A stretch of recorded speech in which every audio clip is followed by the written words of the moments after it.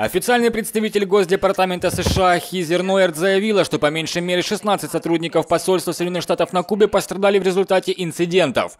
По всей видимости, речь идет о неких акустических атаках, о которых ранее писали американские СМИ. Мы можем подтвердить, что по меньшей мере у 16 сотрудников посольства США наблюдались различные симптомы. Им оказана медицинская помощь в США и на Кубе. Мы относимся к этой ситуации очень серьезно. При этом представитель Госдепа не стала называть причины возникновения симптомов. По ее словам, сейчас ведется расследование, которое должно помочь найти виновных. Нойер добавила, что по информации американских властей, инциденты стали происходить в 2016 году, но на данный момент прекратились.